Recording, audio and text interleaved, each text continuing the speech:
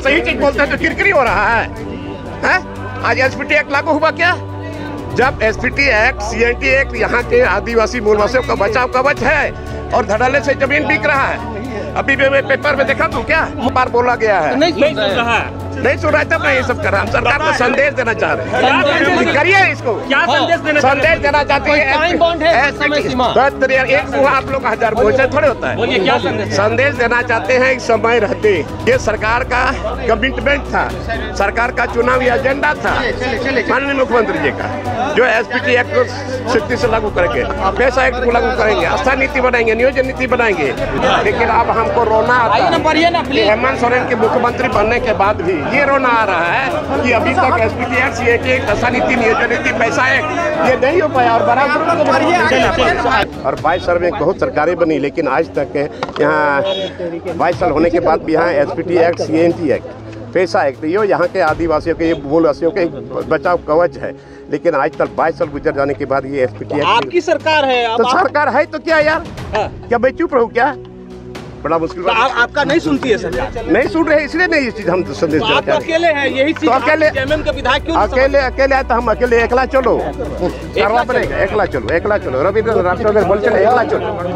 तो दादा ये कहाँ तक आप एकला चलिएगा? हम चलते रहे। कहाँ तक जाएगी? जब तक ये चुप नहीं होगा आप एकला चलेंगे करवा बनेगा। करवा बनेगा आपको उम्मीद है पूरा उम्मीद है पूरा उम्मीद है पूरा उम्मीद है। दादा के अंदर रहते हुए एकला कैसे चलिएगा? हैं? बड़ा मुश्किल बात है। जो काम नहीं होगा S P T act C N T act स्थानीय नीति नियोजन नीति पैसा एक्ट मराम बुरुद तो आज तक नहीं बचा पाए हम लोग। आज तो यही है ना हम तो संदेश तो सरकार को देना चाहते हैं। हेमंत जी आपकी बात नहीं सुन नहीं सुनती है। इसीलिए ना आप ये चीज़ कर रहे हैं। गुरु जी को बोले गुरु जी को भी बोले हैं। गुरु जी का तो कहना ही यही है। गुरु जी। का कहना ही यही है ना। मतलब गुरु जी की बात हो ज़्यादा अपराध बढ़ रहा है। ज़्यादा चलिए अब हो गया हम अपराध क्या है। ये? क्या है? आप देखिए ना भाई क्या है। आपसे पूछ रहे हैं क्या S P T act C N T act PESA act अस्थायी नीति नियोजन नीति।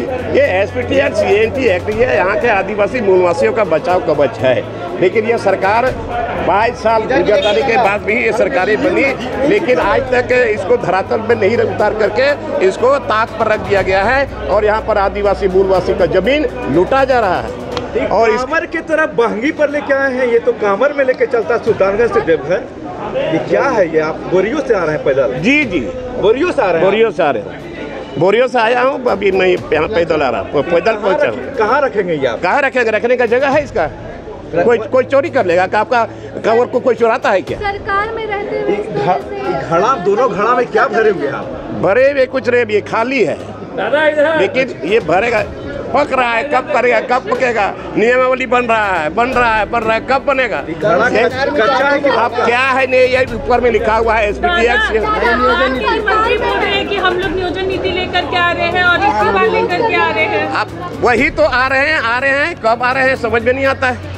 सरकार के खिलाफ नहीं सरकार के नहीं। सरकार रहे हैं। सरकार के खिलाफ नहीं पदाधिकारी के खिलाफ हम बैठे हैं। पदाधिकारी जो है सरकार की छवि को खराब कर रहे हैं। समझिए मेरी बात को। ठीक है मुख्यमंत्री जी ने कह दिया था सर हम यहाँ ये पुल बना देंगे। लेकिन पदाधिकारी लोग आज तक मैं गया था विभाग उनको पता ही नहीं बिरबिंदिया कहाँ है। हो जाएगा बंगाल सट जाएगा किसान को लाभ मिलेगा युवाओं को लाभ मिलेगा। हमारा आदिवासी बहुल क्षेत्र है। लेकिन पदाधिकारी सुनते नहीं है। आदिवासी का पुल नहीं बने यही मंशा है। बीजेपी के लोग भी प्रोटेस्ट पे बैठे थे और कहे कि सदन में उनका रुख आक्रामक रहेगा। बिल्कुल पूरी तरह से सरकार को घेरेंगे। गलत बात है। मैं भाजपा को कल भी मैंने कहा था आपने सुना होगा। क्या आक्रामक हो जाएगा? हल्ला कीजिएगा नाटक कीजिएगा नौटंकी कीजिएगा झाल बजाइएगा वहाँ।